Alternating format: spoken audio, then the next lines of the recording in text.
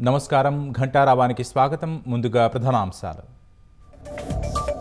Car అదుపు తప్పి ఒకే కుటుంబానికి చెందిన నలుగురు మృతి. నిజామాబాద్ జిల్లా ముప్కాల్ వద్ద ఘోర ప్రమాదం.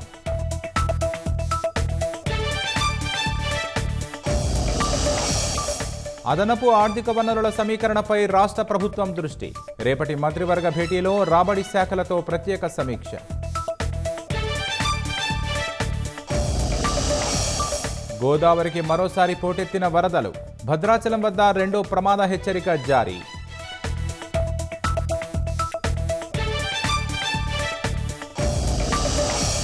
రాష్ట్ర వ్యాప్తంగా జోరుగా స్వాతంత్ర వజ్రోత్సవాలు. దేశభక్తిని చాటి చెప్పే రీతిలో కార్యక్రమాల నిర్వహణ.